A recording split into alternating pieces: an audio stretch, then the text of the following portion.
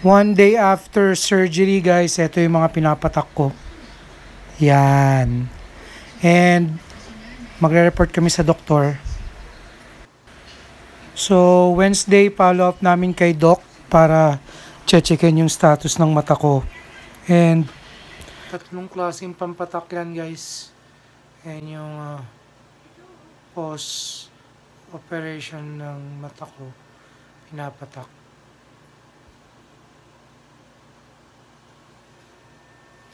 Medyo ma-update yung antibiotic eh. Guys, ganda.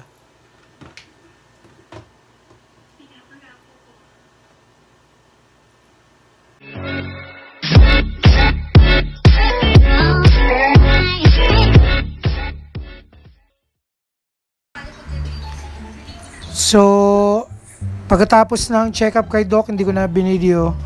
Diretso na agad kami dito ang aming hideout after St. Luke's. Mr. Ube, NBT. Naku, nag-addict ako rito. Napakagastos ng operation ko dahil sa mga kinakainan ko after. well, uh, gano'n naman talaga. Eat healthy foods. Healthy ba yan? Spare ribs. Yung chops. Nakakabilib din yung mga cook or mga chef dito sa Mr. Ube. Malulupit din yung lasa eh. Hindi rin dito mura guys. Medyo pricey din. Yung mga serving nila na ganyan. Kagaya nung kinain namin nasa 210, 250. So medyo pricey din. Pero masarap naman. Para kang kumain ng mga authentic uh, Chinese uh, restaurant. So kaya nga pabalik-balik din kahit medyo pricey. Sulit naman yung food. Pero itong serving nila neto today, ang konti ah.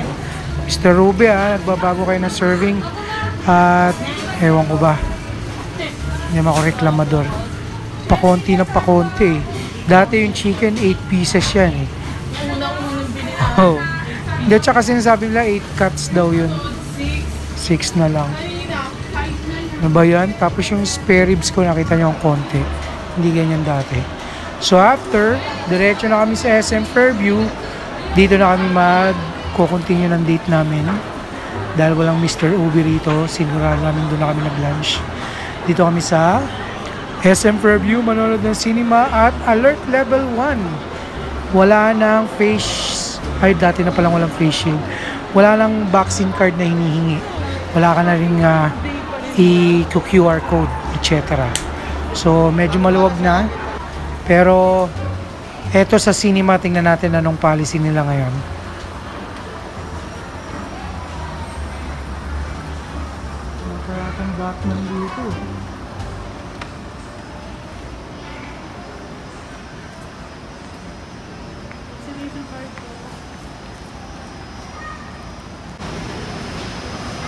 So guys, bukas ng cinema uli ay matagal pa lang bukas. I mean alert level 1 pero bawal pa rin ang food sa loob ng cinema at one seat apart pa rin. So nandito tayo ngayon sa SM Fairview dahil manonood tayo ng Batman ni Edward Cullen Robert Panuel Pattinson ba yun? So 3.30 pa eh. So ilang isang oras pa natin. Tambay muna tayo dito. At makakapagod maglakad. Ako may hingit yun si Emboy at si MJ mga natin. Kaming dalawa lang manonood. Ng Batman.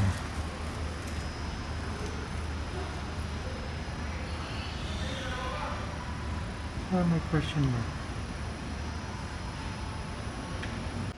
What's up mga ka-help bees? Welcome back to another vlogs for today and kataas lang natin mag-surgery no. So kailangan natin testingin yung mata natin sa SM Cinema. Manonood kami ng Batman. Tara, samahan nyo kami. So yun nga guys, andito kami nag-aantay lang kami manonood kami ng Batman at 3.30 pa yung time. Teka, baliktad pala. 2.30 pa lang. So, meron kaming 1 hour para tumambay dito ni Michelle. So, walang tao sa cinema. And, dito kami sa SM Fairview dahil napakaganda na ng cinema rito guys. Lazy boy na yung chill, chill yun. Yung Celia, chill na chill ka rin. Pero one seat apart pa rin daw at bawal pa rin ang food. Kaya good luck. Movie lang talaga to. So this is our second movie since nag-pandemic. Yung una is Spider-Man, no? Sa MOA, bago rin yung cinema doon sa Mall of Asia. Na dati binabash natin ang pangit-pangit ng cinema, tas mahal-mahal. Tas Mall of Asia pa. Nagkataon lang kasi na, syempre, matagal na silang nagtayo, hindi pa nare-renovate, tapos naglabasan na yung mga bagong cinema ng Berties, ng UP Town nga, oh, UP Town, sa may Katipunan, doon na kami usually nag ah, movie and sumunod yung Bertis na gaganda ng mga cinema ngayon. Tapos eto huli, SM Fairview. So, medyo binabash natin yung MOA nun. Pangit ng Celia dun. Parang sinaunang panahon na bakal pa. Ba, nung nag-pandemic, nagkaroon sila ng chance. Nag-renovate. Kaya yun nga, pakita ko sa inyo dito yung pinod namin Spider-Man. Ang ganda ng cinema dun eh. So, hindi pa lahat ng cinema nila. Hindi alam ko lahat na yun. Sa side, luma pa, babe, madilim pa. Madilim kasi close pero lahat na renovate na. Hmm? Nabasa ko yun sa ano eh. So, yep. Na-renovate na lahat ng ano. Ngayon dito sa SM Fairview maganda talaga yung cinema. Kasi bagong bago to tas biglang nag-pandemic. Kaya hindi pa talaga gamit. Tara papakita ko sa inyo yung paligid. Welcome to Ayala Mall Cinema. Ay, charot. SM Cinema. Dito sa Fairview. Yan. Walang kung nakuha nila yung license ng Marvel. Dahil nila, nila yung Avengers. So, dito yung ah, lounge para sa mga nag-aantay ng cinema. Meron silang Dati rin naka-spread out yan eh, pero ngayon nilagay na lang nila sa corner. Merong 1, 2, 3, 4, 5, 6, 7, 8, 9, 10. 10 couches na merong tatambayan. Okay dito guys. Kala mo food park eh, o parang food park ko sa Lovecraft. And, teka lang, sama ko kayo dun sa dulo. So yep guys, meron directors club dito na pakita natin kung magkano yung difference ng price. Yan. So pag sinabing directors club, para sa director lang yan. Charot hindi. So, ayun, medyo maganda yung seating dyan eh. Siguro maganda yan, masubukan ko rin minsan. Mahal lang kasi parang, pakita ko sa inyo kung magkano. Yan. So dito kayo manonood Cinema 4 and Uncharted ni Tom Holland ng Spider-Man. Inisip ko kung papanoorin ko sa cinema, parang sayang. Batman na lang tayo. So yan. Hanggang 6 cinema yata rito. I believe so.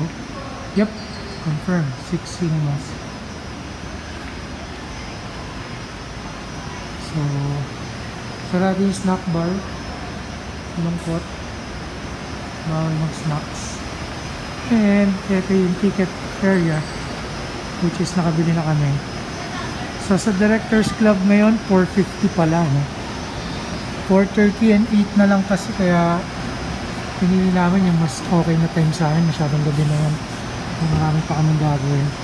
So, dito lang tayo sa Cinema Hall which is 3.30 sakto sa time kasi isang oras na lang bakante tayo mo pangit naman manood ng sine bigla ka na lang lalapag kagad ano ba may allowance para chill muna take a breather then ready ka na manood after so yep yun lang guys uh, yun lang gusto lang para sa inyo yung SM review So that's it for the SM Cinema Purview, yung bagong cinema dito. So soon ma-vlog natin yung Directors Club. Ano tayo dyan minsan. But for now, 3.30 na antay namin. So para doon sa mga nakatutok, as you know it, galing akong opera ng mata. Testing ko lang sa big screen yung mata ko. Charot. Kaya scientific eh, no?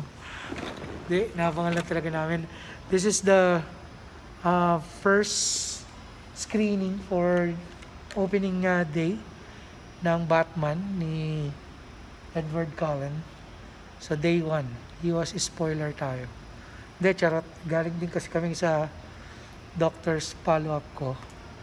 And uh, so far so good yung mata ko. Maganda ang uh, resulta. Hopefully magtuloy-tuloy. And ito, manonood tayo ng cinema. Yep. So make sure na nakasubscribe na kayo guys sa Help This. Uh, this is your uh,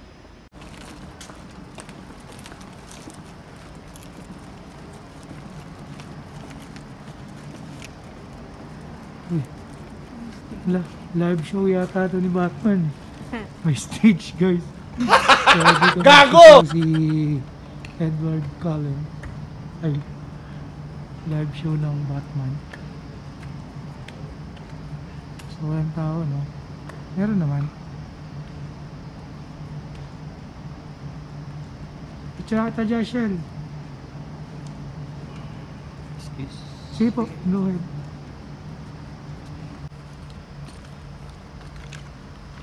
So, meron lang mga part na may cordon guys. Eh. Siguro kinapost din sila ng pangkol. Kaya, bakante pa rin.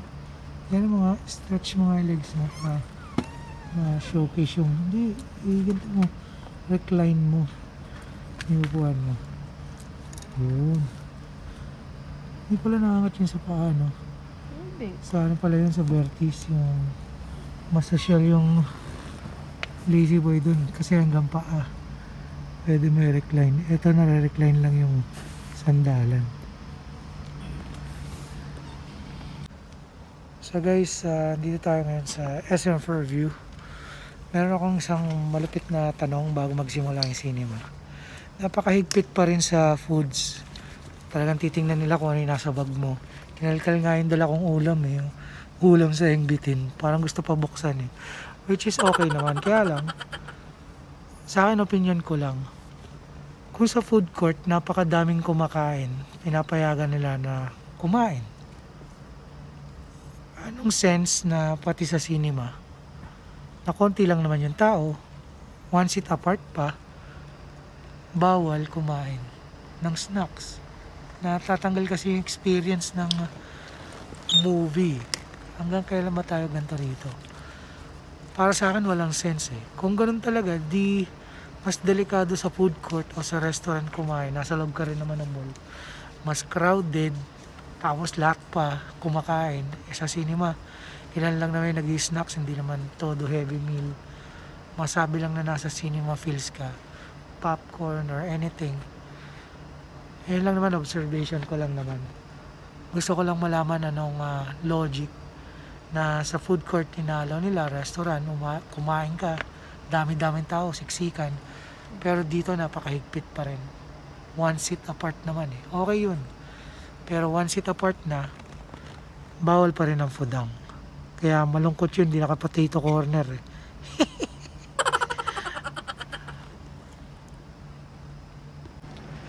So guys, tapos na yung The Batman. So, syempre, no spoiler tayo, pero bibigay tayo ng reaction. Um, kung yung uh, in-expect mo yung typical Batman movies, iba to guys. Panoorin nyo para kayo na lang mag-judge. Uh, entertainment wise, okay din. So, it's more on like the Bruce Wayne detective type of Batman. eh. Para sa akin ha. Ah, ayoko nang spoil too much. So, I'll let you decide and let you judge based on ano yung masasabi nyo. But for me, it's not your typical Batman flick. So guys, panoorin nyo para malaman nyo yung sinasabi ko. Okay? See you again next time. Only here. Ay, May may, libre may libreng popcorn. Bawal kumain sa loob. So, paglabas mo, pakita mo yung popcorn mo. Paglabas Yan. ka, ka na lang kumain. Tabi mo yan. So guys, ah, bago kami umuwi, di pa rin mapakalito ah, dahil di nga kami nakapag-snacks. Nag-take out na lang kami dito sa Shawarma Shack. Buy one take one pala rito guys, 89 pesos lang, dalawang shawarma na. And di ko na binidyoan yung ah, pag-taste ng food, pero highly recommended din. Masarap din naman siya. Lalo't mura lang, 89 pesos. Buy one, take one. So, sinubukan namin yung tatlong menu at anim para makatikim din tong si MJ tsaka si R&B. Nag-take out na lang kami. After nyan, at hindi rin papayag to, nagpabili rin ng Wendy's Biggie Iced Tea tsaka Potato Corner. Sa bahay na lang kami nagtuloy mag Viva Max. So, yep. Ba hindi, binak, hindi binabakbak na gano'n, nakabakbak na? Ay, ano po yun, sir? Ah, yung ganito po yun, pinigilin mo namin, sir. Asan nyo ginili? Yun ang, ah, ano po. Oo.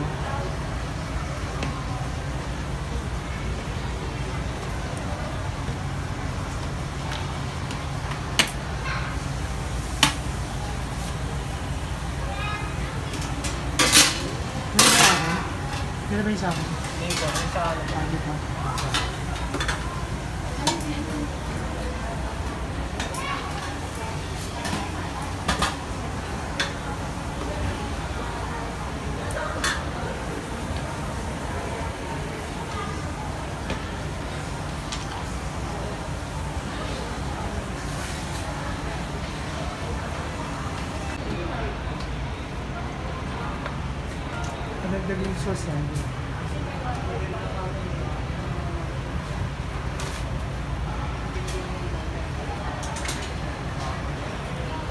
Panoorin niyo yung vlog ko sa Health Biz YouTube.